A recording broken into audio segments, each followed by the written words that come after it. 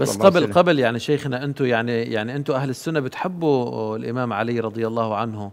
أيوة وبتحكوا عن قصصه البطولية. نقطة مهمة. نحن نحب الصحابة كلهم. آه.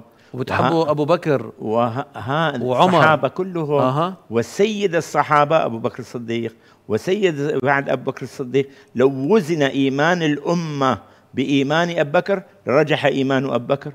ولو وزن إيمان الأمة بإيمان عمر خلأ ابا بكر لرجح إيمان عمر وكذلك عثمان وكذلك علي نحن نؤمن بأن هؤلاء الصحابة أفضل البشر بعد رضي الأنبياء الله عنهم جميعا نعم. وهؤلاء الذين يسبون أبو بكر وعمر وعثمان وينالون منهم ويتهمون هؤلاء خرجوا من الإسلام باتهام عائشة بعد أن برأها الله في القرآن الذي يتلى إلى يوم القيامة. هؤلاء ما قرأوا قصة الهجرة بتفاصيلها؟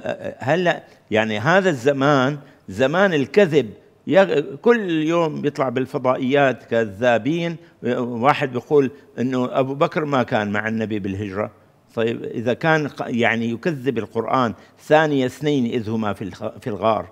إذ يقول لصاحبه لا تحزن. إن يا أبا بكر ما ظنك باثنين؟ ان الله معنا. إن الله ما ظنك باثنين؟ الله ثالثهما. يا أبا بكر لا تحزن. إن الله معنا. اذا نرجع. لم يقل إن الله معي. إذا إن الله هذا آه، يعني أدلة متوالية نعم. على ما حصل وما سيكون في هذه الهجرة.